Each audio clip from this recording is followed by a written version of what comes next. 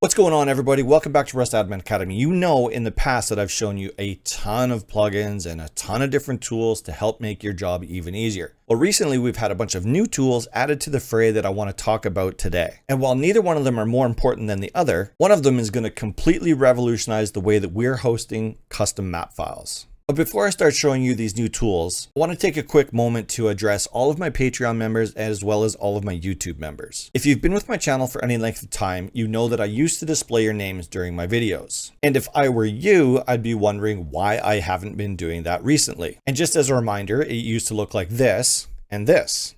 And that was all created basically automatically for me from a website called Mercury by Stream Elements. And recently they took away that functionality claiming something to do with the YouTube API, whatever, it doesn't matter. I no longer have that tool and I have to make them myself. But what this is, is a call out to somebody that's good with graphics that could maybe make something like this for me that I can use for future videos. But because I do appreciate all of my Patreon members, as well as all of the memberships that come in through YouTube, I wanted to take a minute to say thank you. So a huge shout out goes out to all of my Patreon members, especially Sailor, which as you can see at the top of the list is his name is shown in lights. I put him at the top of the list simply because he was literally the first Patreon that ever joined and he's been with me ever since. So that's going on, I think four years, I think I calculated. But every single person on this list helps this channel survive. That of course brings me to my YouTube members, which are literally just as important. So thank you so much for being a YouTube member. Now, to be totally honest with you, most of these memberships were gifted memberships from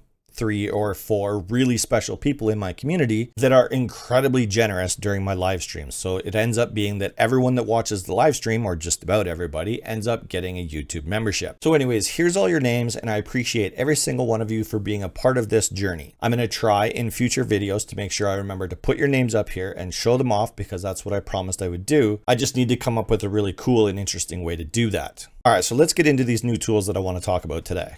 So if you've ever tried hosting a custom Rust map, whether that be purchased from one of the premium websites or you created something yourself simply through Rust Edit, in either case, you have to host that map somewhere in order for it to be loaded into your Rust server. And in the past, we've tried various different things. We've tried leaving it in Discord and just using that link. We've tried hosting it on OneDrive and Dropbox. I mean, there's a ton of different ways of doing it, but now we have one specific location that we can all be using all at the same time. And that is mapstr.gg. Yes, Mapster, almost like Napster, but not. So huge shout out goes out to Ryan or Ryz0r, depending on where you know him from. Ryan has put this together for us so that literally everybody can use this functionality. We simply upload the map file, it spits out a link, and we can put that link into our batch file or into our dashboard or wherever we need to use it in order to load that custom map into our server. If you know for sure that you're only going to do this one time, you don't have to log in, you don't have to sign in. You can simply upload your file, grab your link, and you're off to the races. However, if you're going to use this over and over, you simply click on this button right here. It's going to link your Discord account with mapstr.gg and keep track of all of the files that you've uploaded with their associated links. So if you're using custom maps all the time and six months down the road, you want to go back and see what you used six months prior, mapstr.gg is going to keep track of all of that for you. The best part of this whole situation is this service is completely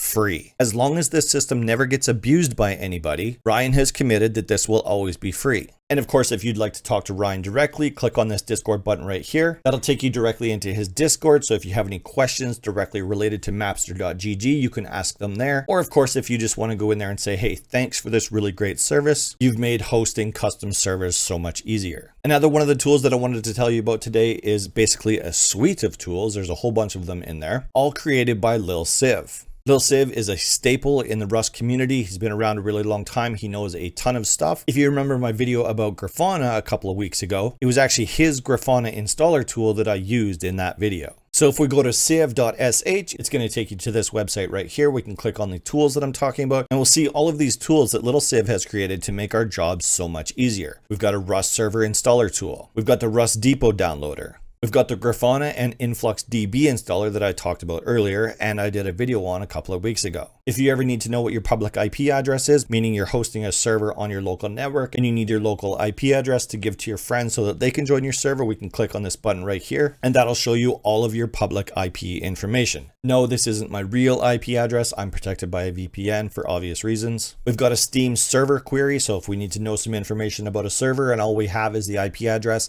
and the query port. We can put that information into the Steam server query and it's going to spit out as much information as it possibly can about that server. Now the last three tools here are really important. We've got a batch file creator, a description tool, and a JSON validator. So if we go into the Rust server batch file creator, it's really super simple. All you have to do is essentially fill out all of these blank fields, click on generate batch file, and it's going to make all of my previous videos about starting a Rust server irrelevant. It's going to do all of the hard work for you. It's going to make sure that it's formatted correctly. It's going to look good and it works every time. I've tried this myself and it does, it works beautifully. The next tool is the Rust server description tool. And I know doing this for as long as that I've been doing this, a lot of people struggle creating really good descriptions for their Rust servers so that it entices people to actually want to play on their servers. But along with that is also the formatting of that description so that it makes sense in your batch file and actually works correctly. So you can simply go through here and put in whatever information you want on whatever lines you actually want it to be on. You don't have to do any of the funky stuff. And then we click on generate output and it's going to give you the exact line that you have to put in your startup file in order for it to actually work once it's running on your server. And then the last tool that I want to tell you about is a JSON validator. So as we all know, once you start getting into really big configuration files, if you make one little tiny mistake, two possible things can happen. Either whatever plugin that you're working on this configuration file is not going to work, or worse yet, the plugin will automatically force a default configuration file, which will completely obliterate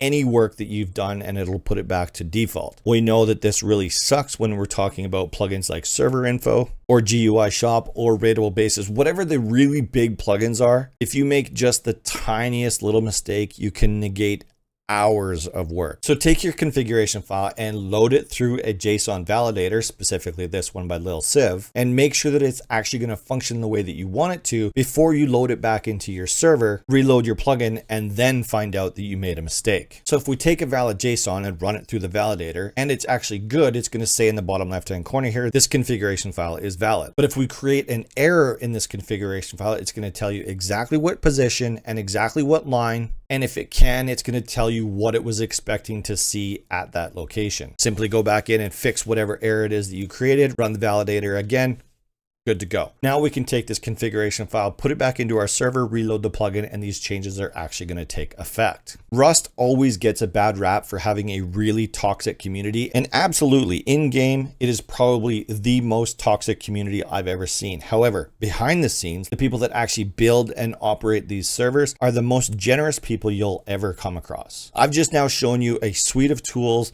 all built free of charge, no charge for the service, and all created from the incredibly generous minds that are behind the scenes, people that never get the spotlight, but truly do deserve it more than most. So a huge shout out goes out to Ryz0r, as well as another huge shout out that goes to Little Civ. Thank you all so much. I appreciate what you've both done for the community. And I hope you all enjoyed these videos. Check out the links in the video description down below. I'm going to put everything down there for you. Thank you all so much for watching. I'll see you next week.